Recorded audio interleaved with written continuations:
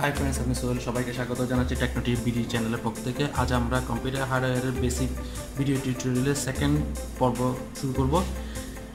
আমরা আগে বলে নিচ্ছি, এটা বিগিনার লেভেলদের জন্য।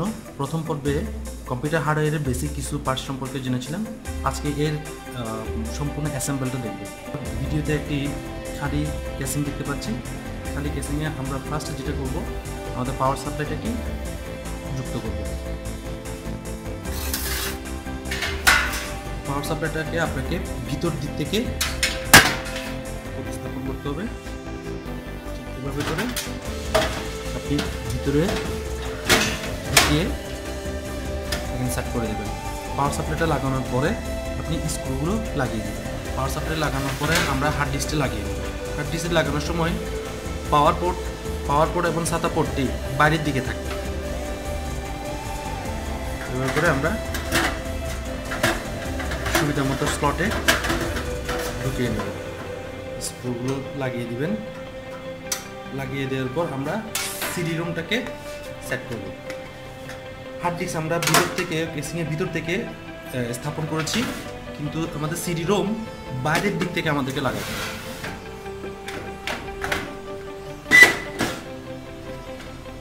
স্ক্রুগুলো আমরা লাগিয়ে দিই। আমাদের কেসিংয়ে পাওয়ার সাপ্লাই হার্ড ডিস্ক এবং সিডি রোম লাগানো শেষ। এখন আমরা মাদারবোর্ডটিকে প্রস্তুত করব। প্রথমে আমরা আমাদের প্রসেসরটি লাগিয়ে দেই। এই যে খাস কাটা অংশটা উপরে থাকবে। বসিয়ে দিলাম। বসিয়ে দেওয়ার পর কেসিংটিকে পিনের কাছাকাছি আনার পর এটা লকটাকে স্প্রে করে লাগিয়ে দিই। এরপর র্যামটার খাঁচটা বরাবর আমরা রেখে চাপ দিয়ে লাগিয়ে দিলাম।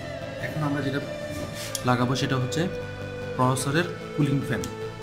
এই যে প্রসেসরের কুলিং ফ্যানটা দেখছি, এর চারটা অংশ, চারটা হুক, চারটা হুলে লেগে যাবে।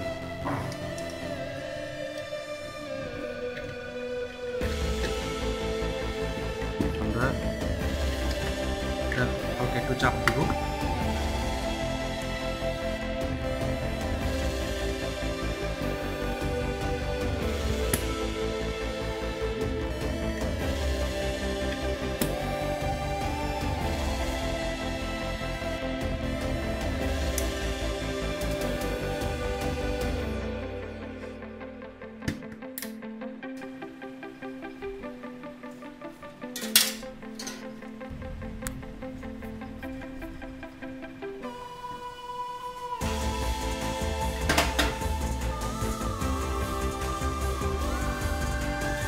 আমাদের স্ক্রু লাগানো শেষ, এবার আমাদের পাওয়ার লাগানো।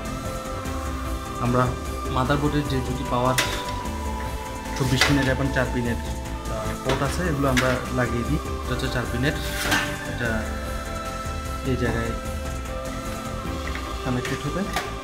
এবং চব্বিশ পিনেরটা দেখুন, চব্বিশ পিনের এই যে পিনটা আছে, এটা বাইরের দিকে থাকবে।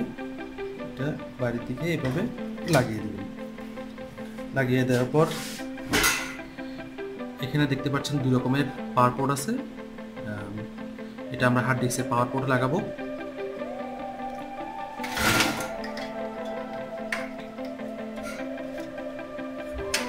এবং এখানে দেখতে পাচ্ছেন আরও একটি পাওয়ার পোর্ট আছে, যেটা আমরা আমার সিডি রুমে লাগাবো।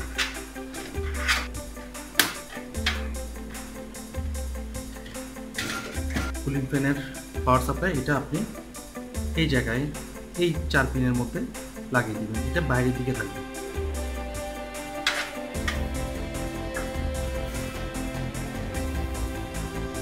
এখানে দেখতে পাচ্ছেন ইউএসবি লেখা।